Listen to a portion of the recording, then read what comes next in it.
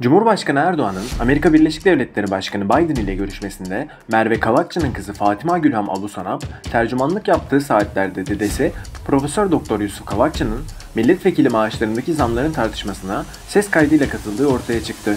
Yusuf Ziya Kavakçı'ya göre milletvekillerine maaşları yetmiyor. Neredeyse pul oluyor. Selamun aleyküm. Muhterem Uzlar, hayırlı geceler Yusuf Ziya Kavakçı. Şimdi bu seçilmişlerin milletvekillerinin diyelim maaşları meselesi. Sosyal medya şöyle, sosyal medya böyle. Ee, ben şu bilgimi yani fazla teferruata gitmeden arz etmek isterim.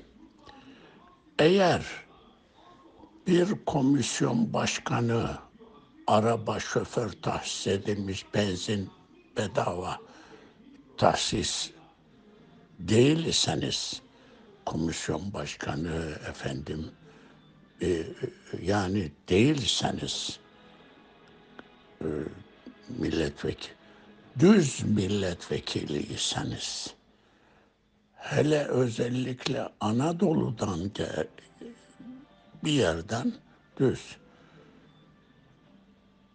o düz milletvekili değil mi üç gün Ankara'da ise diğer üç gün Sakarya'da, üç gün Hanya'da olacak. Kendi arabasıyla gidecek, şoförü yok, kendi benzini. Evet.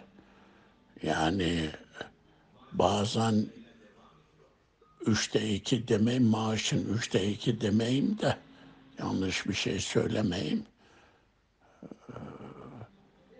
Yarısı benzine gidiyor. Araban şey oluyor. Ondan sonra bir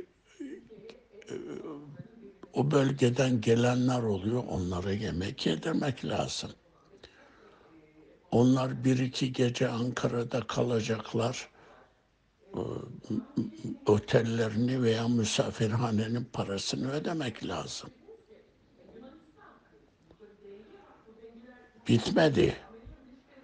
Parti sizden şu kadar şey vermeni istiyor. Kes, kesinti. Çünkü partideki hizmetler var ya o hizmetleri destek manasına. Aziz kardeşlerim, eğer zaten gelirim var, zaten fabrikam var, zaten mal satılıyor bilmem ne. Sonra orada biraz yukarılarda dolaşınca ismin oluyor. Bir iki müşteri daha fazla çıkıyor gibi bir durum varsa belki karlı olabiliyorlar.